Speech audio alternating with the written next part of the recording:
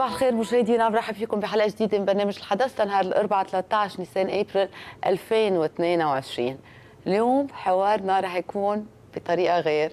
مع وجه عرفوه كثير المشاهدين بفترة السنتين الماضيين عرفوه أكثر هو معروف كان. المرشح عن المقعد السني في دائرة الجنوب الأولى صيدا جوزين دكتور عبد الرحمن البزري. صباح الخير. صباح النور نانسي لك أهلا وسهلا فيك. رح نحكي معك اليوم عن جائحة الانتخابات. جائحة.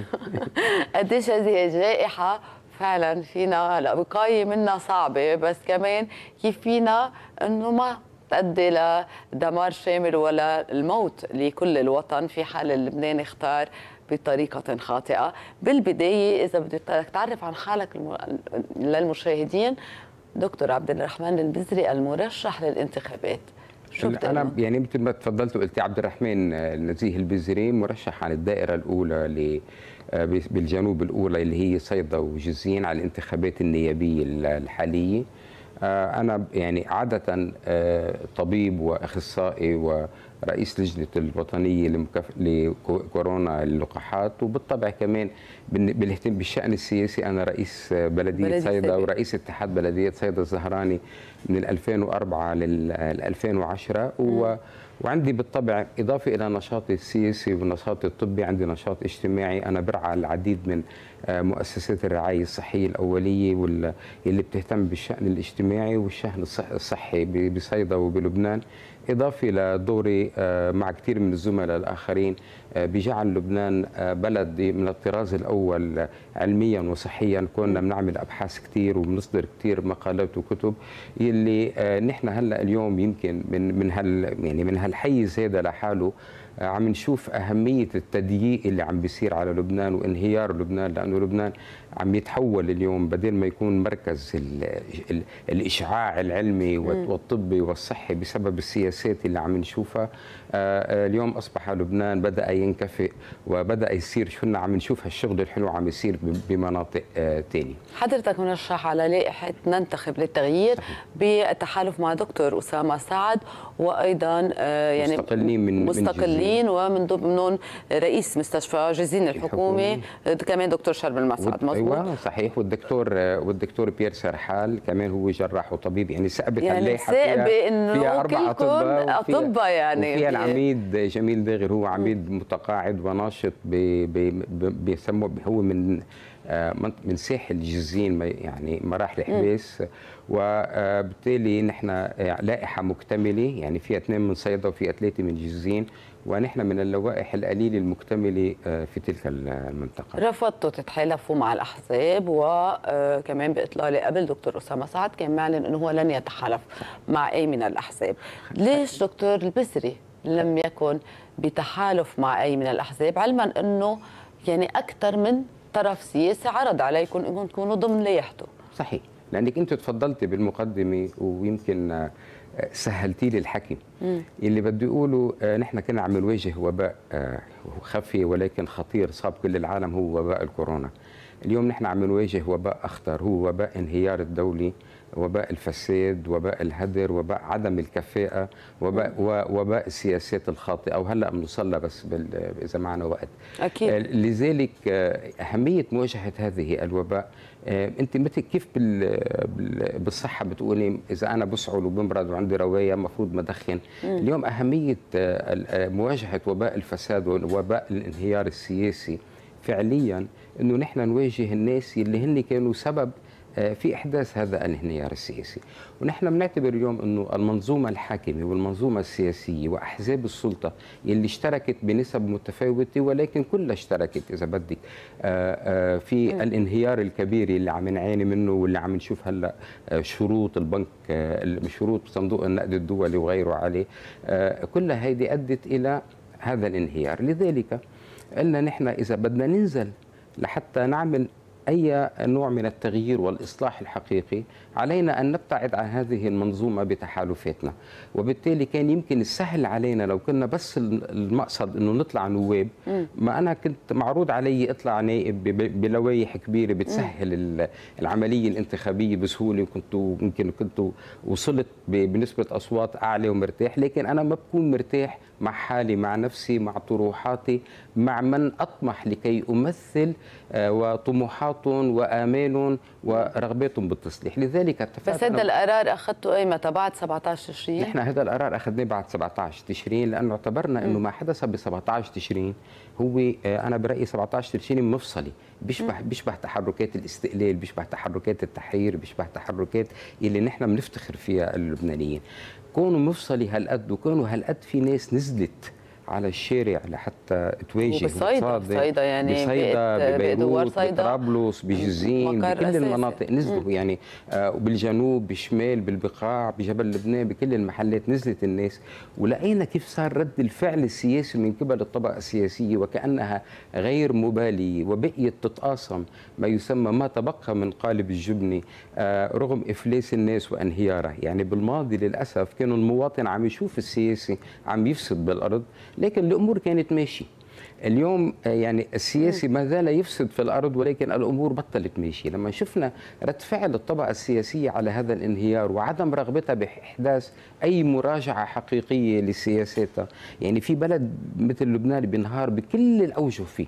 الاقتصادية الاجتماعية حتى الصحية ال- ال- الأمن كل الأمور انهارت. ما لقينا حدا تحاسب. يعني ما لقينا حدا وقف وتحمل المسؤولية ما لقينا حدا وقف ووجه اعتذار بالحد الأدنى آه، للناس. لذلك كان هذا القرار. فأنا اللي بقوله أنه اللي أخذناه من الناحية التكتيكية ومن الناحية الانتخابية هو قرار صعب.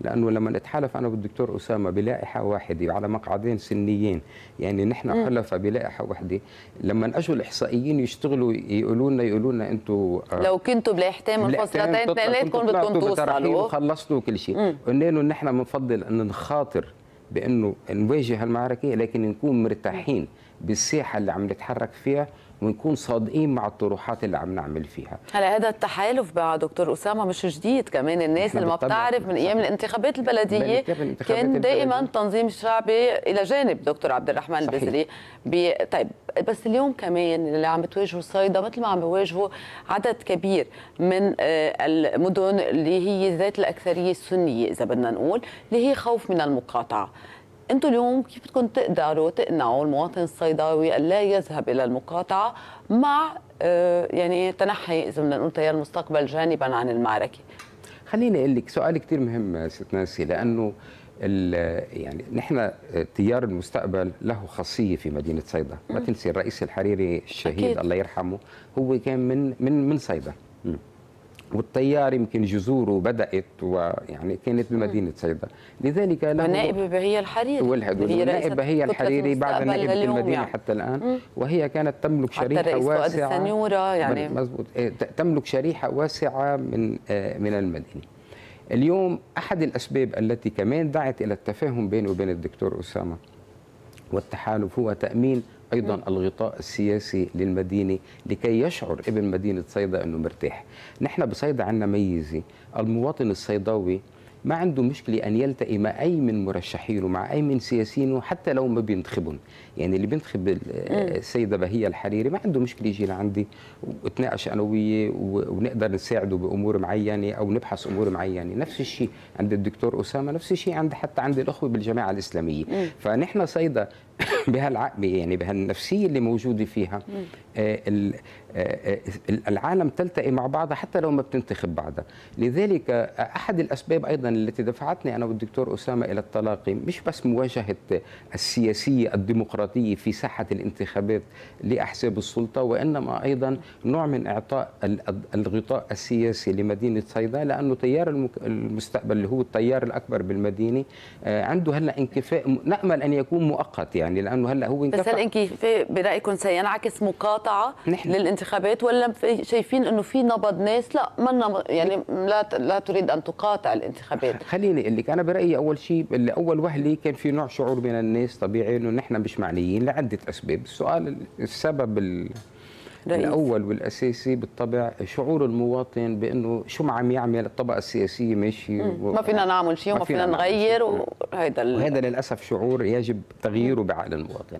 السبب الثاني آه، إنه أكيد انكفاء المؤقت لتيار المستقبل اللي بيمثل شريحة، لكن اليوم ديناميكية التلاقي بينه وبين الدكتور أسامة، ديناميكية الإصرار على أن يكون القرار مستقل بصيدا وأن يؤثر استقلاله على استقلالية الجوار، عم تعمل عم تعمل اليوم نوع من الحراك الحلو آه، في المدينة، آه، إضافة إلى نوع من ما- يسمى بأنه المدينة اليوم آه، بدأت ينشغل بالها من محاولة فرض لوائح عليها من قوى نحن بنقدرها وبنحترمها لكن وجودها بالمدينة تعتبر وجود يعني منه كثير منه كثير مين يعني؟ يعني مثلا يعني إذا بتطلع على اللوائح اللي موجودة بصيدا في لائحة المستقلة الحقيقية واللي حقيقة عم تواجه احزاب السلطة. هي اللائحه اللي مشكله منه من الدكتور أسامة من الدكتور سرحان ومن الدكتور شربل مسعد ومن العميد داغر آه، بالمقابل عندنا لائحه للقوات اللبنانية اللي هي آه، يعني بلد وعندنا لائحه للتيار الوطني الحر وعندنا لائحه لحركه امل بالمدينة.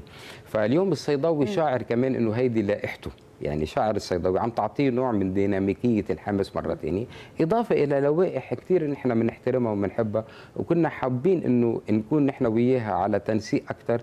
هي لوائح شبابية لبعض القوى الحراكية بساحات صيدا آه، التي يعني كنا بنتأمل إنه كنا نوصل ل آه، إنه يعني تتوحدوا بلائحه وهذا ما قدرتوا. طيب ب- بهيدا المكان يعني مثل ما عم بتقول إنه في تنوع اليوم لوائح بس بذات الوقت في خوف من إنه يكون في مقاطعة بالانتخابات. شو اللي بخلي دكتور عبد الرحمن البزري يقول أنا هذه الانتخابات لابد أن يعني أخوضك؟ يعني شو اللي دفعك لتاخذ هذا الاختيار بوقت حضرتك من الأشخاص اللي حتى ما يعرف بأحزاب السلطة بيلجأوا لك. يعني لما يكون في آه، مثل ما شفنا بجائحة كورونا كنت حضرتك من الأشخاص اللي تقرر إنه يكونوا موجودين بشأن الطبي مثلا وتم اختيارك. ليش رحت على هيك مثل ما بيقولوا كلاش بينك وبينهم؟ خليني أقول لك بداية يعني الشأن الصحي والطبي نحن دائما بنعمله. بنعمله مع الدولة مع, مع كلها ونحن كجمعية أمراض جرثومية كنا دائما نقف إلى جانب لبنان مش إلى جانب الدولة إلى جانب لبنان إذا بدك وجانب المواطن. كل ما يكون في وباء وشائح وجائحة بتهدده يعني. الفرق الوحيد إنه هلأ بالكورونا الوباء دخل إلى لبنان بقوة وهون يمكن تميز الدور اللي قمنا فيه. لكن إحنا نحن لما كنا عم نقوم بهالدور أنا كنت عم أقوم فيه وفي كثير من الزملاء الحكماء معي بنفس التفكير. كنا عم نقوم فيه نحن لإثبات شغلتين. الشغلة الأولى نريد أن نحمي لبنان والشعب اللبناني ولذلك لحتى نحمي لبنان والشعب اللبناني اضطررنا أن نتعاون مع ال... وبرجع بقول بالدولة كان في آه، موظفين آه، جيدين اشتغلوا وخبرة وكل شيء وكان في وزراء تعاونوا حتى ما نظلم كل الناس وكان في يعني هيدي نقطة كثير مهمة بدنا نحطها لكن النقطة الثانية اللي هي بذهننا واللي طرحناها قبل ونأكد عليها كنا نريد أن نثبت أن لبنان قادر بطاقاته البشرية ومجتمعه المدني ومجتمعه التطوعي أن يحدث الفرق. يعني لبنان نجح بالكورونا حيث فشلت دول أعطى وأعظم وأغنى وإمكانياتها العلمية والطبية أكثر. يعني إذا كان لبنان بهالمرحلة بهالسنتين ثلاثة بيفتخر برد فعل وطني حقيقي كان هو رد الفعل اللي صار على الكورونا. هذه التجربة يلي إنه نحن كناس متطوعين كمجتمع حتى تفاعلنا مع الدولة من أجل إنقاذ الوطن كنا حابين تنتقل أيضا لقطاعات أخرى يعني كنا حابين نشوفها بالاقتصاد كنا حابين نشوفها بالمحاماة كنا حابين نشوفها آه، يعني. هون أثبتوا ك خصوصا الجسم اللي هو المنسي يعني كان إيه. بمكان معين مثل ما عم بتقول معين. إنه أثبتوا إنه قادرين على حتى بأشد واعتى الأزمات انه إنه إنه لبنان يشكل وهذه. قوه لبنان لأنه إحنا دائما كنا نفتخر إنه لبنان شو ميزته؟ هلأ عم نحكي عن الغاز والبترول وما بعرف شو. كنا ميزته نحن الطاقة البشرية اللي عندنا العنصر البشري.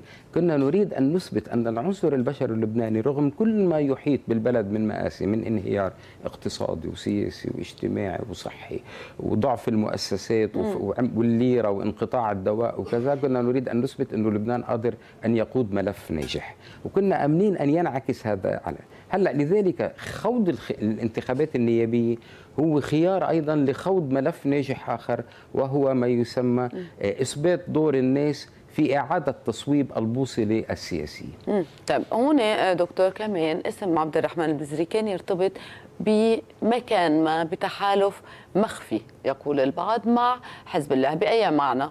لما ينقال رئيس حكومة غير محسوب على أي من الأطراف المتخاصمة. كان يطلع أيام اسم عبد الرحمن البزري. كانت علاقتك جيدة؟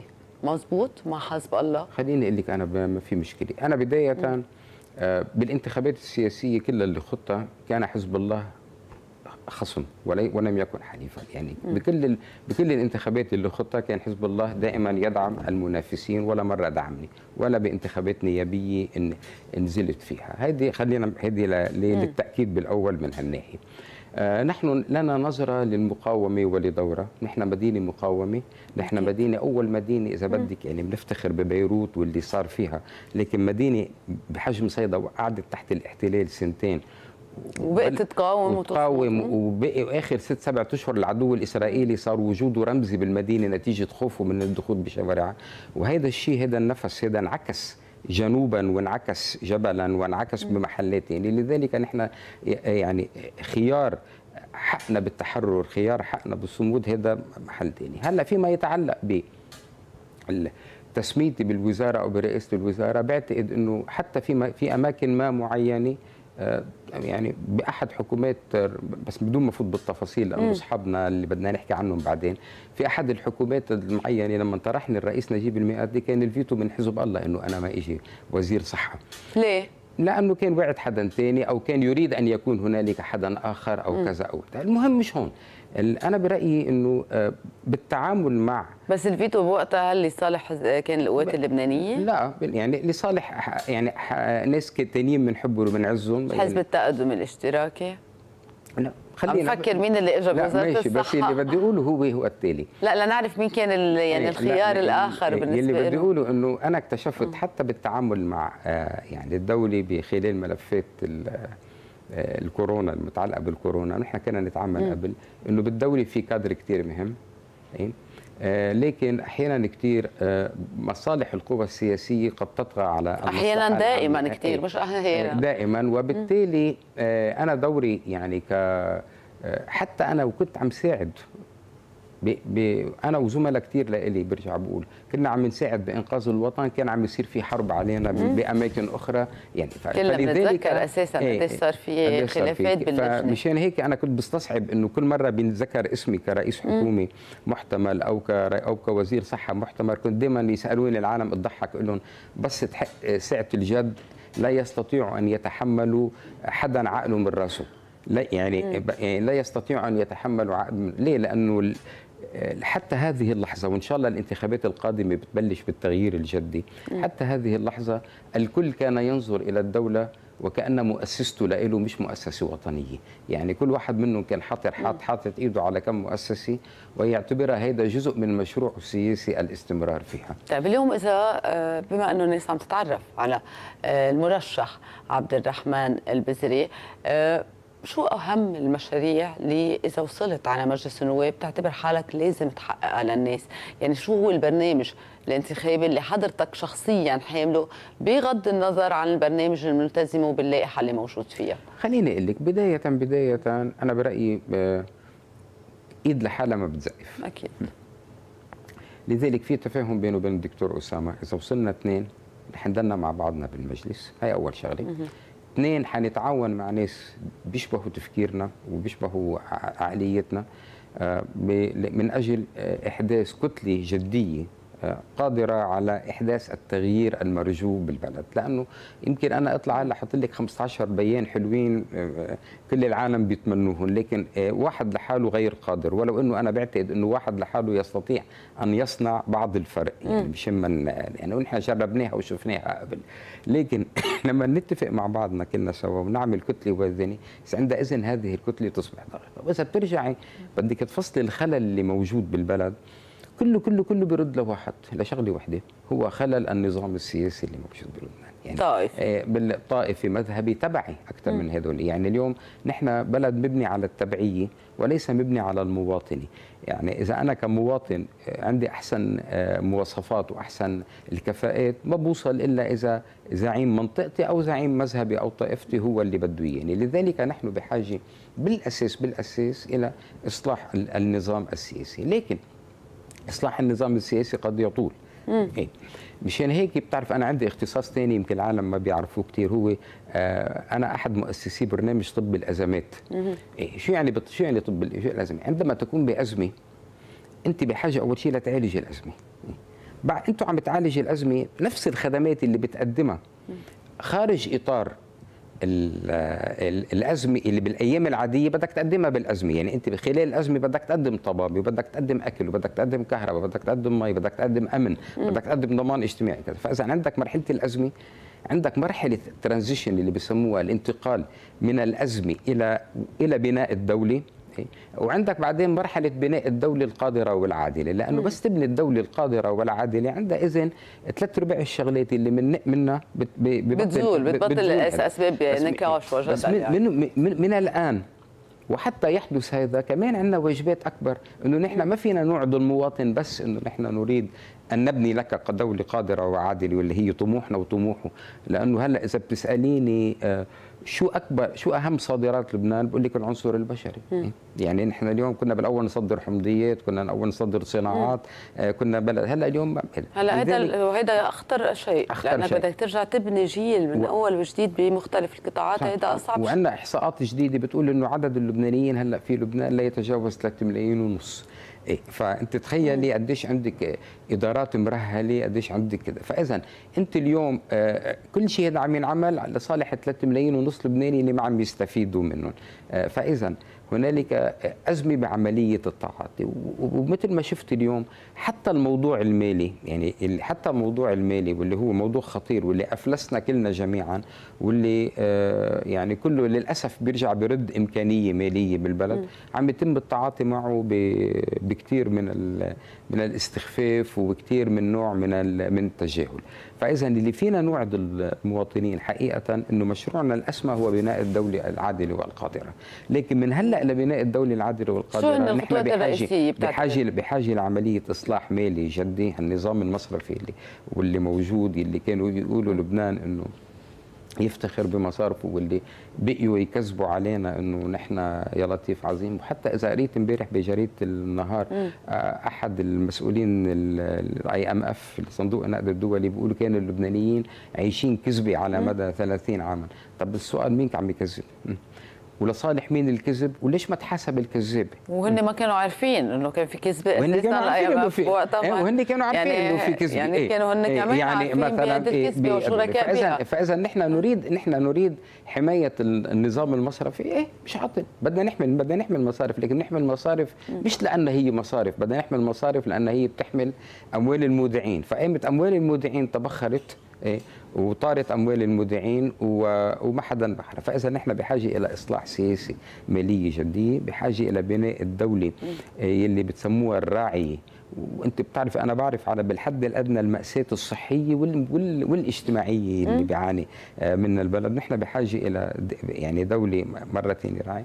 والبنك والبنك الدولي لما عم يروحوا بيجي دائما كل ما كل ما يطلوا بيجوا بيقعدوا معي شوي بنتشاور بهالمواضيع. انت بتعرفي بلد مثل لبنان في شيء تسعة أو عشرة يمكن 11 أو 12 صندوق رسمي ضامن للسياسات الصحية بأسعار متفاوتة وكذا. يعني توحيد هالصناديق وينهم هدول الصناديق هلا إيه بهالازمه بأزمة إنه ما فيك تفوت على المستشفى إذا ما في جايبتك كاش يعني. وين أنت عرفت امبارح مثلا في مريضه يعني تدخلنا بترجينا حكيمة بالمستشفى وكده وتجاوب معنا لأنه الضمان مأضرب والموظفه ما بدها تمضي وما اعترفت بالضمان وما يعني اليوم هذا فهذا كله بيعكس حاله هدول. فإذا نحن بحاجة إلى دولة راعية جدية بحاجة إلى دولة عصرية ترجع مرة ثانية ترسم ما هو دور لبنان ومستقبله الحقيقي شو هي قطاعاته الجدية اللي بيستطيع يفوت فيها. نحن بحاجة إلى سياسة بيئية آه، أنا بتعرفي إنه بيعتذر من من خلالك حاعتذر مره ثانية لكل المواطنين اللي عم بعمل لهم زيارات آه، لأنه في مواطن بتفوتي على بيته لقيت بتوصلي لقيت كومة النفايات واصل قريبة من شباكه يعني مع إنه هو ساكن على طابق وشوي يعني في سياسه بيئية بلبنان بدها آه، بدها بدها حل. في سياسه بصيدا. بصيدا يعني بصيدا على أساس إنه عملنا خطة وإزالة المكب يعني رجعنا تحولنا من أول وجديد. معمل الفرس صار مطمور بالنفايات. بالنفايات وصار في عندنا جبال موازية لهدول في سياسة تربوية جدية تعليمية يعني لبنان منارة منارة الشرق وسويسرا الشرق ومنارة العلم. طب اليوم صار في دول ثانية طورت برامجها وغيرتها. يعني في كثير أمور يجب العمل عليها. لذلك نحن بحاجة جديا إلى أن نبحث بأن يكون هنالك مجموعة من الناس قادرين على التعامل مع بعضهم. من أجل إصلاح البلد. هلأ اداريا حتكون في رؤى مختلفة بالطبع. يعني يبدو إنه كيف يعني مختلف خليني أقول لك يعني نحن اليوم كلنا بنحب نوع من اللامركزية الإدارية وأنا سأليني جربتها أنا كرئيس بلدية وكنت أعتبر رئيس بلدية آه، يعني آه، آه، هيك يعني عاطي دور جيد لبلديتي وللاتحاد اللي كنت رأسه. انت بتعرفي انه السلطة المركزية كانت مشلحة البلديات أهم عنصرين اللي هن من عناصر السلطة. العنصر المالي والعنصر الأمني. م. الأمن تابع للمحافظين ما لهم علاقه البلدية فيه.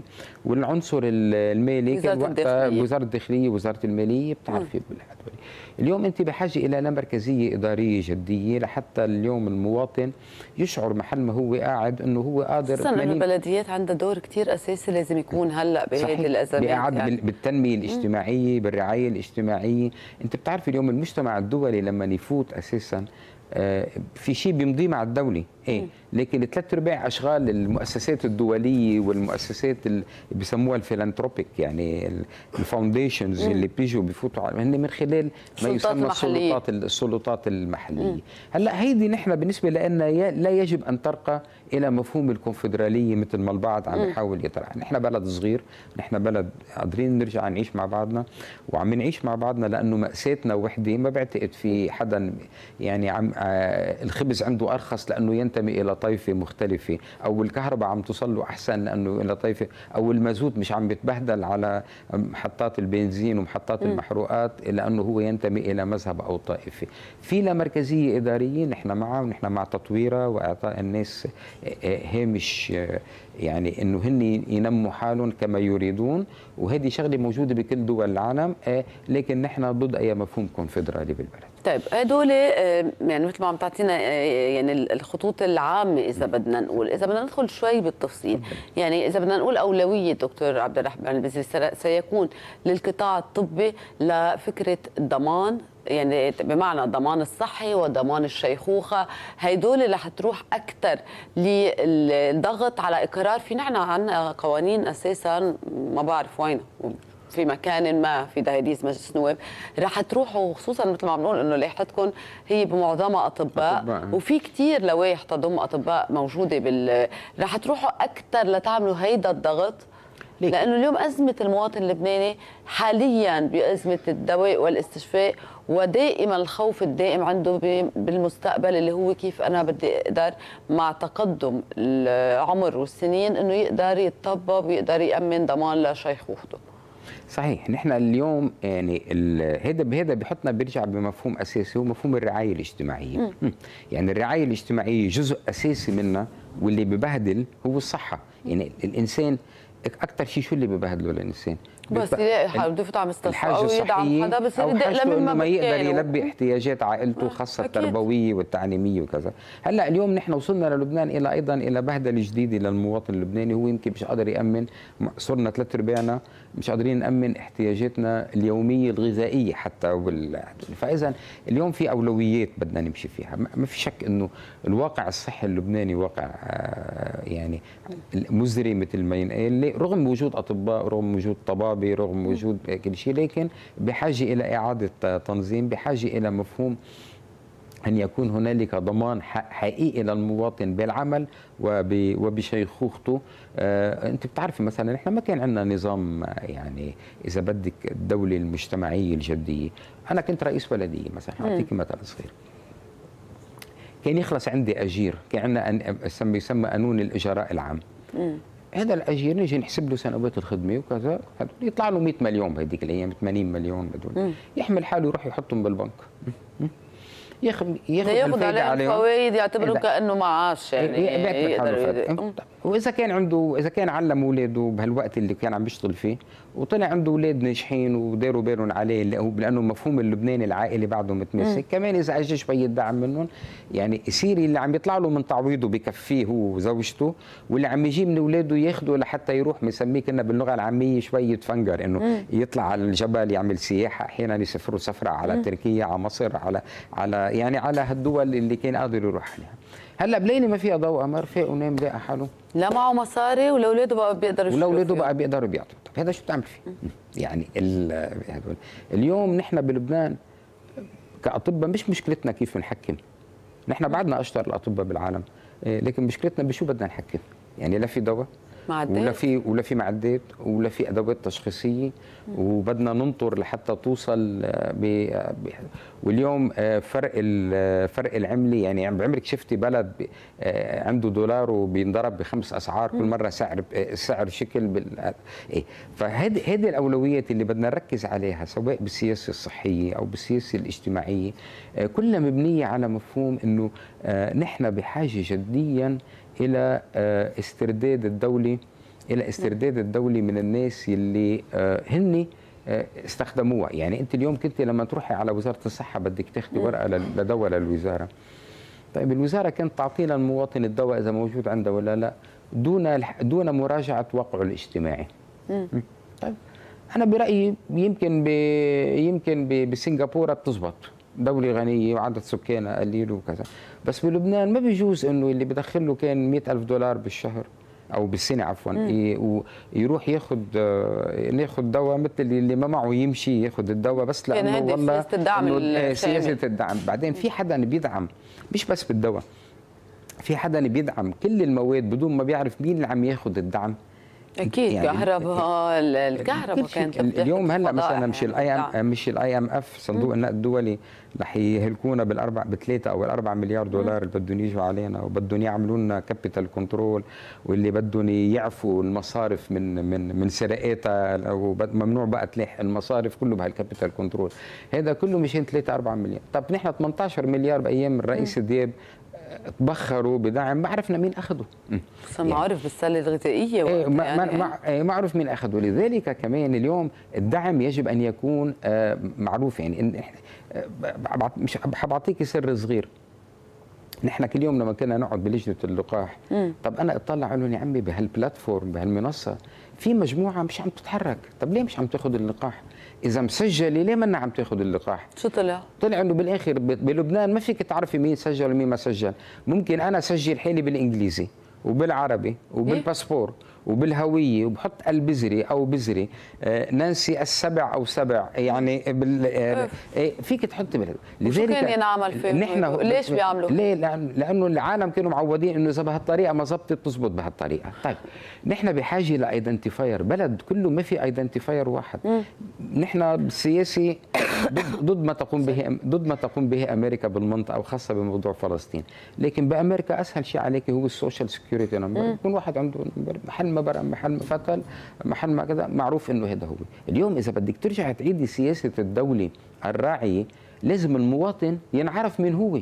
ينعرف إذا راح على الصيدليه عم ياخذ هالدواء المدعوم يكون هو يعني يكون عندنا اخذه بالكوتا بالكوتا المحطوطه له بالريشتة. مش أخذها وبيع أربع راح جمع أربع خمس أدوية وطلع منه وراح على صيدليتين وعلى ثلاثة هذا اللي عم بيصير. أساسا مثل كل شيء بالماركتس حتى زيت الشيء يعني بفوت لهم بياخذ إذا قلنا زيت مثلا هلأ في شح زيت تلاقيهم فاتوا من من ميلة لميله عم بيلموا جالونات زيت. خليني أتابع معك دكتور عبد الرحمن البزي خصوصا بدي أفوت على مواضيع سياسية أكثر يعني. آه لكن اسمح لي أنه أنتقل إلى بعبدة مع زميلنا محمد فرحات الذي يبدو بدأ بمتابعة جولة السفير السعودي اليوم على المسؤولين السياسيين بالبلد. وبدنا نعرف إذا وصل ابو عبدة السفير السعودي. صباح الخير محمد.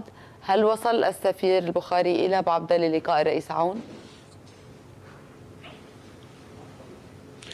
صباح الخير نانسي لك ولضيفك وللمشاهدين. بالفعل وصل السفير السعودي وليد البخاري منذ بعض الوقت إلى قصر بعبدة والآن يجتمع مع رئيس الجمهورية ميشيل عون. هذه الزيارة الأولى للسفير السعودي إلى قصر بعبدة منذ حوالي أكثر من عام بعدما حملت هذه العلاقات الدبلوماسية بين لبنان والسعودية. ما حملته بالفترة الماضية وكلنا رأينا ماذا حصل.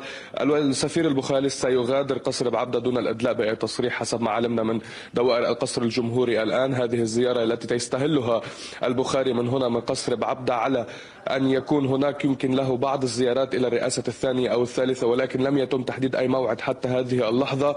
إن كان في عين التين أو في السراي الحكومي السفير البخاري كان قد بدأ آه، آه، جولاته اللبنانية على رجال الدين اللبنانيين والمراجع الروحية إن كان من خلال لقائه مفتي الجمهورية أو نائب رئيس المجلس الإسلامي الشيعي الأعلى أو شيخ عقل طائفة الموحدين الدروز وحتى آه، البطريرك الراعي في بكركي وإضافة إلى الإفطارات التي أقيمت إن كان مع رئيس الحكومة والشخصيات السياسية التي رأيناها حضرت في إفطار ما قبل يوم في الإفطار الأول أو حتى الإفطار الثاني الذي أقيم بالأمس. إذا السفير السعودي يستكمل حركته اللبنانية يستكمل زياراته اللبنانية.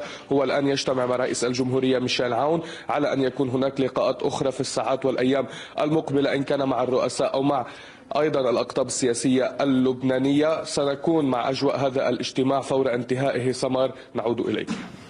شكرا لك محمد. طبعا سنعود إليك مع جديد وننتقل إلى فصل إعلاني ونعود بعده.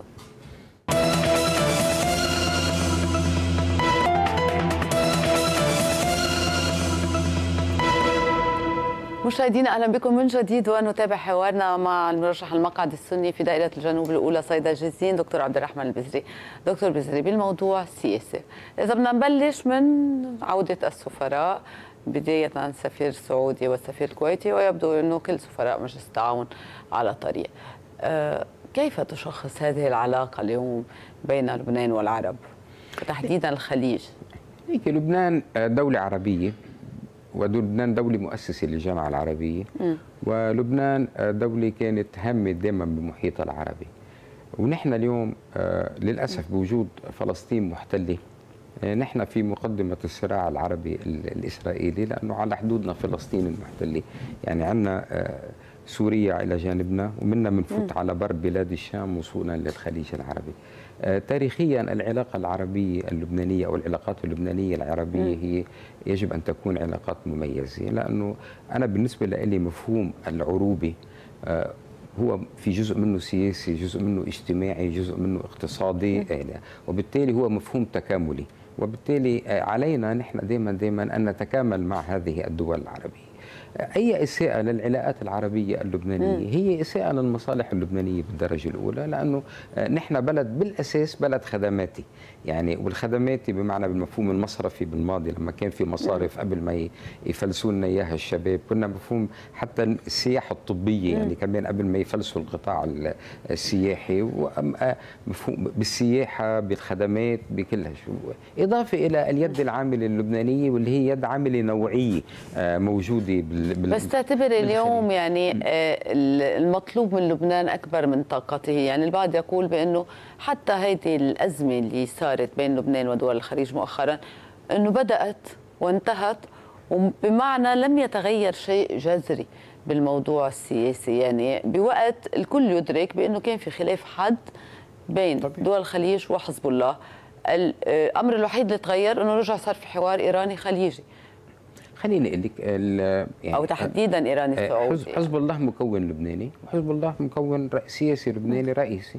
لكن حزب الله مش مش هو بكل المكونات السياسية الثانية. يعني في مكونات سياسية ثانية في مكونات على علاقة وثيقة جدا ومتحالفة مع حتى مع مجلس التعاون الخليجي أو على صداقة مميزة. في في مكونات علاقتها جيدة في مكونات يعني. وبالتالي أنا برأيي يعني إذا كان في خلاف بالرؤية أو خلاف بالتعاطي بملف شائك أو حساس آه، بين مكون لبناني وبين آه، مجلس التعاون الخليجي لا يجب أن أن ينعكس ذلك سلبا على العلاقات اللبنانية الخليجية كان في عقاب جماعي لكل لبنان تعتبر من قبل الخليج بهذا المكان أنا برأيي كان في سوء إدارة لبنانية يعني كان في سوء إدارة بس شو آه، بدهم يعملوا؟ يعني سوء إدارة يعني شو. سوء يعني إدارة ما كان ما كان في بواب يعني مفتوحه بوشهم حتى يعني لا مش هيك اللي؟ بقولها يعني أنت اليوم أنا بقول إنه آه يعني إذا بناخذ سلسلة وزراء الخارجية اللي أجوا؟ بدأ خلينا نبلش يعني بسلسلة وزراء الخارجية اللي بلشوا بتحسي إنه وزراء الخارجية اللي أجوا لم يكونوا موفقين بالتعامل مع ملفات أو بالتعبير كانوا عن بت... من طرف متحالف مع حزب الله يعني هذا كمان عم إيه بس بس, بس يعني بس أكثر. آخر النهار هن وزراء خارجية لبنان إيه؟ آخر النهار هن وزراء خارجية لبنان يعني أنا اليوم بيجي على إدارة معينة بيجي على إدارة معينة يمكن لأنه بمثل فئة معينة بس لما بدي مارس بالإدارة لازم مارس بم- بمصلحة الإدارة ال- اللبنانية. هلأ نحن اللي بيهمنا وهذه شغلة كثير مهمة إنه اليوم سواء ال- العوده العودة العربية إلى لبنان تحديدا مجلس التعاون الخليجي ونحن بنعرف إنه مجلس التعاون الخليجي له كمان صلات حتى بدول عربية ثانية اندفاعها تأثير. إلى لبنان أو التخفيف من اندفاعها إلى لبنان يتأثر. الع- العودة هذه يجب أن تكون هلأ نستثمرها بصالح اللبنانيين. نستثمرها ممكن بصالح استثمارها. هل هل المشهد اللي شفته بإفطار السفارة مؤخرا وعدد من رؤساء الأحزاب الموجودين أول شيء دعيتم؟ لو لا، أنا ماني- دعيتم أنا ماني رئيس حزب يعني بالهدول دكتور أسامة دعيت- سعد رئيس حزب. لا الاحزاب اللي عندها كتل بعتقد كانت نيابية يعني أو شيء بالهدول. يعني لم أنا بس شو رأيك إذا بهذا بالأساس إذا- المشهد اللي كان يعني موجود أنا برايي يعني؟ الدعوة على الإفطار لما بالعكس يعني من- إنه لبي الدعوة ما في مشكلة فيها يعني.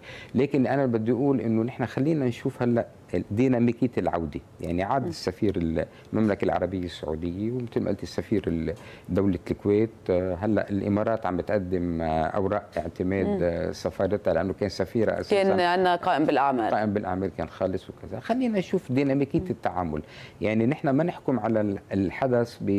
يعني يعني بس بالهيك العنوان الأساسي بالعنوان أو- الأساسي. اليوم مثلا آه، اللقاء مع رئيس جمهوريه هو لقاء مع بغض النظر هو رئيس جمهورية كل لبنان. يعني بهدول بقابل الرئيس بالريف هو مجلس رئيس مجلس نواب كل لبنان. يمكن إحنا بالسياسة هلأ مت- متنافسين نحن ولائحته للرئيس بالريف لكن ما بتنفي انه أو متنافسين نحن ولائحة رئيس جمهورية لكن ما بتنفي إنه هن هلأ عندهم مسؤوليه عندهم تمثل مسؤولية البلد أكيد. بي- بيمثلوا كل البلد. لذلك شغلة ثانية نحن كنا بنعرف إنه دائما دائما للأسف الحل اللبناني السياسي- يتأثر بالمساج الإقليمي. ول- ولبنان شهد صعودا يعني خياليا وانحدارا خياليا بحسب للأسف ما يس- ما يحدث ما يحدث- المفاوضات اللي عم بتصير. بالمنطقة. يمكن هلأ في مفاوضات إيرانية آه، آه، سعودية بالماضي كان في مفاوضات من نوع آخر. يعني استقرار لبنان بالماضي حتى مش حتى قبل الحرب الأهلية ما كان مرتبط بتفاهم عبد الناصر والأمريكان كان يعني بعدين الدور السوري. ده طالما تأثر لبنان طالما يعني إيه، بكل إيه، الصراعات إيه، بالقطاعات. والمفاوضات. فإذا نحن خلينا نستفيد من اللحظة الإيجابية. يعني إذا المنطقة رايحة على انفتاح إيجابي خلي اللبناني يستفيد. وعلينا أن نحصن أنفسنا داخليا حتى يكون ارتداد الأزمة الإقليمية أقل وق... أقل وطأة علينا. يعني ارتداد الأزمة الإقليمية أقل وطأة علينا. بتلاقي اليوم إنه آه، الخوف الكتير البعض عم بيقول إنه ما رح يكسر ستاتوكو اللي كان قائم غير انتخابات لأنه هي اللي رح ترجع تأثر بموضوع بمي... تلعب بميزان الأكثرية والأقلية اللي كانت موجودة ولابد من تغيير بالأكثرية وتحديدا إنه الأكثرية اللي هي مع حزب الله وحلفائه. هل الانتخابات ممكن هي تكون الباب لهيك كسر هيدا ال- الجمود اللي كان وصل لمرحلة إلى تحدي للعالم العربي؟ تسمحي لي؟ خليني أقول لك. أول شيء أنا رأيي خارج إطار الجواب بس بالجواب. الدولة عم تكذب هي غير مستعدة للانتخابات. آه. بس الانتخابات حتصير. كيف لا حتصير؟ لا لك ليه؟ لأنه هن فاشلين لدرجة بإدارة الأزمة. إذا ما صار في انتخابات الله يسترنا من التنين ما بعد الانتخابات إذا ما صارت. لكن فعليا إذا بتطلعي ما في شيء م- واللي بيطلعوا بيقولوا نحن حاضرين ونحن كذا. هن حاضرين لأنهم هن تعودوا يبهدلوا الناس بالانتخابات. يعني كل الاعتراضات على أماكن تحديد مراكز الانتخابات وإنه اللي ما فيهم يطلعوا بالطابق الثاني وبالثالث حيضلوا زيتوا هنرجع نشوف زيت المشهد. ناس بعده لهلا تنحمل عم يفتشوا كيف بده الدراج الكهرباء. وما بعرف شو بالهدول اللي بيقولوا بس تفرز بدك تحط سكرين لحتى يقعدوا اللي شايفين اللي كل آه ما حد لا في سكرين ولا في كهرباء ولا في. من يحزنون. إيه آه بدك بكرة يمكن يخطر على بالهم ومعهم حق يمكن مجتمعيا أو بمطلبيا المعلمين يضربوا. يمكن بكرة بيخطر على بالهم القضاة ينكفئوا ما ما حتى حدا عن بيعمل. هلأ الجسم الدبلوماسي بوقت انتخابات المغتربين كمان قبل وهلأ. في خلاف قال عم يتباهوا إنه وز- مدير عام مدير أمين عام من وزارة الخارجية ظهر المصاري بدون علم وزير الخارجية لحتى يبعثوا ليعملوا بالسفارات انتخابات فأنا برأيي هذه آه، يعني هون الدولة منهاره لدرجة إنه هي لا تستطيع إقامة الانتخابات لكن الانهيار هو اللي بده يفرض الانتخابات لأنه يعني لأنه في شيء لابد من كسر هيدي من ال- كسر ال- هال- يعني الانقسام اللي صار بالانتخابات انقسام الشكل الانهيار بدك توقف الانهيار يعني المواطن بده هلا شيء يكسره. شو ما قال لك أنا مش مهتم بلحظة من اللحظات بده يعرف إنه هو صوته مهم وبده يلاحظ إنه هو رايح ينتخب. لذلك إذا ما انتخب إذا ما انتخب الأحد في مشكلة التنين في مشكلة كبيرة التنين يعني مش منا مشكلة. هذه هذه سلمنا فيها جدلا. ثاني شيء خلينا نناقش نحن يعني بتستبعد تأجيل الانتخابات مثل ما عم يحكى انه ممكن إيه. لاخر لحظة تتاجل هلا عم- يجربوا يركبوا فيلم. وهذا الفيلم يعني بال آه، لأنه اليوم قال إن الرئيس مئات العظيم آه، نجح في آه، مع هذول وهن نفس الشروط كانوا هن نفسهم يعني هذه تمثيلية ان نجح في مفاوضاته مع ال- ال IMF. مع ال IMF اللي هن نفس الشروط معروفين من زمان. ما في شيء تغير فيهم يعني بالهدول من أيام الرئيس حسان دياب. موجودين هول هن الشروط. وانه هن رضيوا بالشروط وبدهم يتفاوضوا. أنا خايفين من إب- من قطبة مخفية واحدة؟ وهو إنه ال IF بال IMF بحب يوقع مع حكومة ما بحب يوقع ما في يوقع مع حكومة تصريف أعمال. نحن نتفه لقاح بدنا نجيبه بحكومة تصريف أعمال. اضطرينا نعمل وقتها رئيس جمهورية ورئيس مجلس ورئيس وزير صحة ووزير مالية وما بعرف شو مجلس ال IMF بده حكومة ليوقع معه.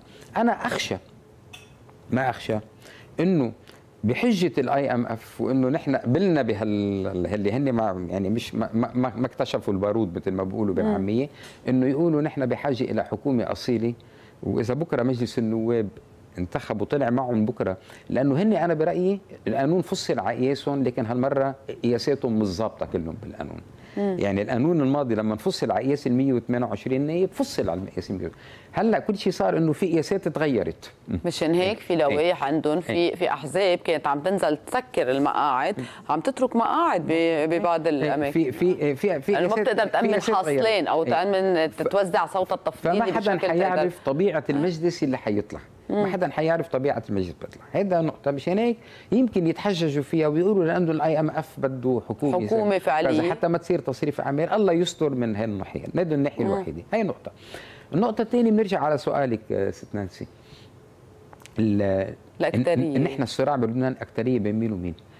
ما يرجعونا على 8 و14 إيه إيه إيه. لأنه 8 و14 مكو... مكوناتهم أفسدت في الأرض. يعني. في مكونات افسدت من هون ومن هون. ما فينا يعني من التحالفاتهم هي اللي كانت عم تتحكم هي اللي كانت بالبلد عم بالآخر. تتحكم بالبلد والبلد فما يخ... ما يرجعونا ب 8 و14 مين مع هدول. نحن هون نحن نرى الموضوع من باب ثاني من يريد إصلاح؟ أي. الواقع السياسي الحالي نحن حابين نشوف في اكثريه وأقلية هيك. من يريد إصلاح الواقع السياسي الحالي ووضع ما كلهم بيصير بدهم إصلاح؟ نظام لا نظام دولي عصرية جدية وأنت بتعرفي من هي القوى بلشت يعني عم تميز حالها ولو إنه نحن كنا بنتمنى إنه آه، تطرح حالها بشكل موحد أكثر يعني تطرح حالها بشكل موحد أكثر وبين من وبين من يريد إبقاء آه، الواقع السياسي كما هو وللاسف ضمنا حتى بغض نظر من المجتمع الدولي يلي أريح له يتعامل مع هول لأنه بيعرف يمسكهم وبيعرف يشمطهم من دينتهم وبيعرف إمتى يوقف المصاري وبيعرف إمتى يعطي المصاري. طيب بالتغيير يعني دائما البحث عن التغيير.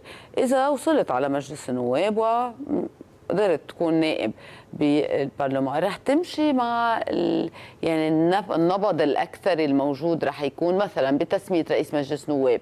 رح يكون مسلم به خليني مثلا أقول لك بالهدول أنا برأيي إنه آه، هلأ؟ بالواقع بالواقع الحالي إيه.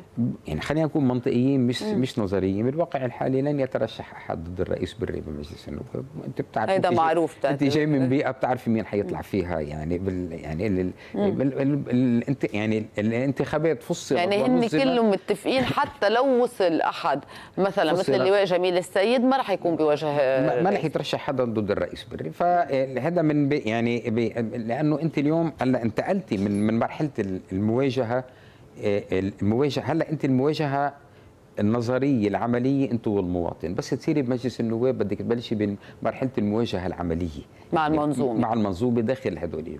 فأنا برأيي في عندنا سؤال. السؤال الثاني مين من هو رئيس الجمهورية القادم؟ حوفر عليك السؤال اللي حتساليني من هو إيه، رئيس الجمهورية؟ مشان هيك رايحة آه، أقول إيه، استحقاقات اللي إيه،. من هو رئيس الجمهورية القادم؟ نحن بنعرف إنه عندنا ثلاث أربع شخصيات كانت دائما مطروحة رئيسة الجمهورية. لكن خلينا نشوف شو بده يطلع بتفاعلات المجلس الجديد.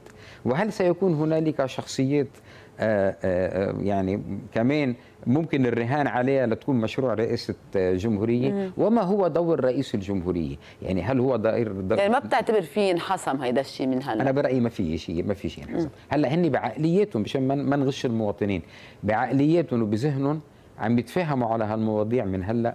وهن معتبرين إنه الناس ما لها نحن بدنا نقول بدنا نقول للناس الأحد ب 15 الشهر فرجون انكم أنتم لكم رأي مختلف. طيب نحن اليوم ب 13 نيسان اليوم ذكرى اليوم ذكرى الحرب الأهلية حرب المشؤومة. قديش بتلاقي إنه فعلا هذا البلد لن يعيد تاريخ نفسه فيه علما إنه أكثر شيء نسمعه إنه نحن بل- ببلدنا كل شيء التاريخ بعيد نفسه حتى امبارح للأسف مشاهد الناس على طوابير الرغيف دغري بتاخدك لصورة الطوابير الخبز اللي كانت سابقا يعني صحيح. ذات المشهد آه، الأزمة الجوع المازوت في عناوين بالصحف هلأ عم يرجعوا يمشوها العالم. هي ذاتها تصلح إذا حطيتها اليوم بتفكرها عم تحكي عن الأزمة اليوم.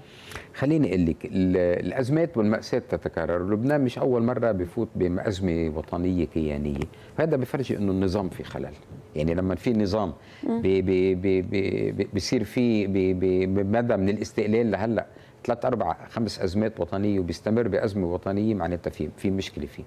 الحرب الأهلية اللبنانية يعني نحن دائما بنقول بال- بالعامية تنذكر ما تنعاد لكن ما في شيء بيمنع بيمنع عدم إعادتها، والسبب إنه نحن لما أيضا تفاهمنا كمان تفاهموا على زغل الناس. يعني يعني أنا بقول لأنه مش الناس اللي تفهموا اللي قتلوا بعض اللي وقادة بعض الميليشيات قعدوا قالوا تعالوا نتفق بدنا نقسم السلم الجبنة. نقسم الجبنة. من بالهدول قعدوا أنا بقول إنه دائما دائما دائما بعطي مثل بكل جلساتي سواء العامة أو الخاصة تجربة جنوب أفريقيا. إيه. في شيء بده يكون في لجنة اسمها محاسبة ومسامحة. يعني نحن بدنا نقعد مع بعضنا في مناطق نحن بعدنا لهلأ الناس فيها عم بتعاني.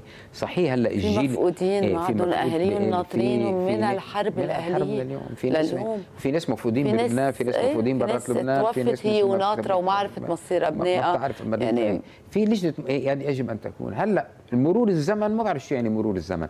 يعني بمعنى إنه آه، في جيل هلا اللي عاش الحرب الأهلية ومآسيها بعده موجود. ومش رح يروح من هلأ ل 20 سنة يعني. آه، بكير عليه لحتى يندثر كله ويطلع جيل جديد. يعني خلينا نقول هذا الجيل ما شربها لأبنائه. يعني آه فأنا بقول إنه المصالحة لا تكفي بين زعماء ال- ال- الح- الحرب بين أمراء ما الحرب هذا اللي ببين صراحة. عند كل استحقاق يعني اليوم تيار وقوات كل ما بيتخانقوا مع بعض وهن عملوا تسوية رئاسيه مع بعض على أساس ختموا هذا الجرح بيرجعوا بينكشوا الزمن الماضي والمقابر هذا- تبع هذا- هذا جوا- وويلاتهم هذا- هذا جوات المكون اللبنانيين واحد. اللي عملوها هذا جوات مكون واحد. مكون واحد. فال- وقيسها على الكل. فعكسيها على كل المكونات بال عكسيها على كل المكونات وشوفي شو بصير. بتقول ما خلصت هذه الحرب بعد أنا برأيي مش لأنه ما خلصت هذه الحرب لأنه ما خلصت. ما خلصت لأنه النظام اللي عملها ما تغير. يعني يعني مشكلتها إنه النظام اللي عملها ما تغير. يعني اليوم كنا عم نتبهدل على طوابير الخبز بس هلأ أنا أكيد أكيد أكيد ممكن حدا يستن- يستنفر قسم من الناس بشعور مذهبي أو طائفي. رغم إنه كنا عم نتبهدل إيه. كنا تبهدلنا على ما كنا ما في ما فينا كبير. البنزين. ال- بالبنزين ما فينا كبير مني وجو ما حدا ما تبهدل على البنزين طب أعطينا يا عمي بالكهرباء بالكهرباء. آه، كان اللي شقته حقه مليون دولار بالأشرفية عم بنام على البلكون واللي قاعد ببيت تنك عم بنام برا لأنه تساوت ما العالم إنه ما في كهرباء ما في- بالصيفية اللي هي هلأ على من بعيد الصيف يعني. وإيه- إيه كيف الناس هالقد عم تقدر تنسى بسرعة يعني؟ إيه. فإذا اصلاح يعني منع لبنان من الانهيار سواء إلى نزاع أهلي. بحب اسميها حرب بدك إلى إلى أزمات جديدة إلى بكرة تعطيل حكومات.